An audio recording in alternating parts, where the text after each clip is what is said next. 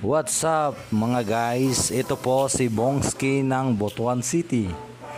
Ah, ngayon po ituturo ko po sa inyo yung pagmamine ng Dogecoin. Dogecoin or Dogecoin, pareho din yon. So, start na po tayo. Un yung unang-una, gaga punta po tayo dun sa Dogecoin na website. Ito, i-click lang po natin yan. Ayan, yan yung lalabas.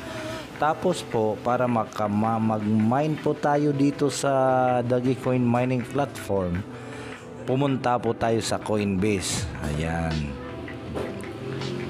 Ayan po, ayan na po yung Coinbase. Ah, tapos hahanapin natin yung Dogecoin or ita-type natin yung Dogecoin. Tapos i-click natin at ayun lumabas na si Dogecoin tapos i-copy paste yung yung Dogecoin na address niya. Sige ayan. Tapos pumunta ulit tayo dun sa Dogecoin mining platform at copy paste ulit. Ayun tapos ganyan lang start mining. Oh di ba? Oh 3,000 9,000 1,2 1,5 Madali lang ito mga guys. Kaya ano pang gaya, ano pang hihintay nyo?